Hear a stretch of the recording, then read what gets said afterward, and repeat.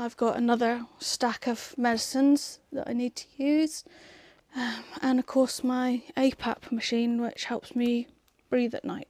How much time do you spend in bed, would you say, every day?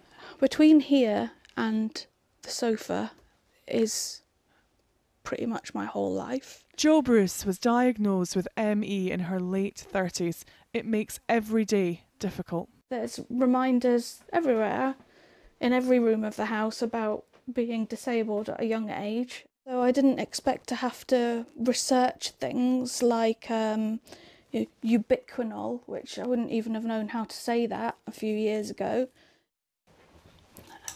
And another reminder in the bathroom I wasn't expecting to need a stool, shower stool at the age of 50 either. Um, I've had this uh, since I was about 45, I think. It's taken everything. Yeah, and not just from me.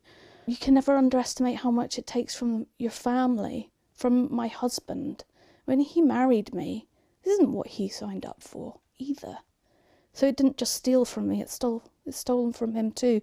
And you have no idea how guilty I feel about that. Sometimes. Do you think? Sorry, I didn't know where that came from.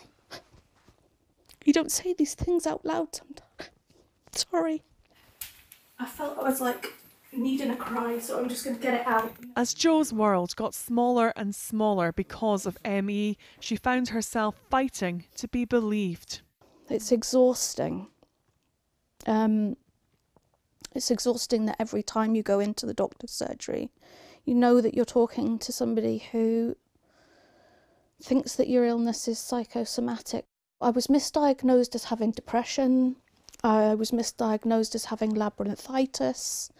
Um, I, I, there was kind of the subtle undertone that I was a bit of a malingerer, looking for an easy way out. Um, but nobody would choose this life.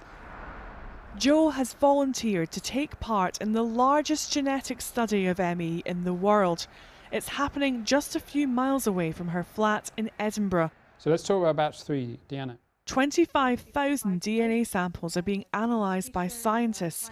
They want to understand more about the disease and hope to discover genetic causes for why people become ill so effective treatments can be found.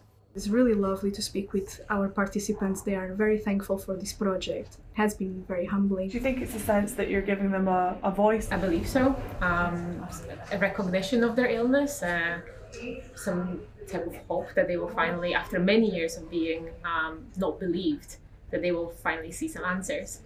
The study is UK wide and long overdue, according to the professor who's leading it.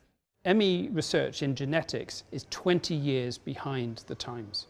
It's way behind all these other diseases like multiple sclerosis, diabetes, neurodegenerative conditions. It's way behind.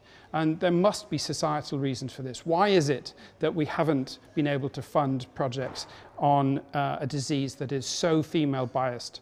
There are four or five women to, to, uh, for each male. Why is it that we, we have not been able to pour our resources into this awful, awful disease when it costs the country billions of pounds a year and yet only two or three pounds per person is given for research. This is a, a, problem that isn't to do with fatigue of individuals. This is a problem to do with compassion fatigue in the United Kingdom.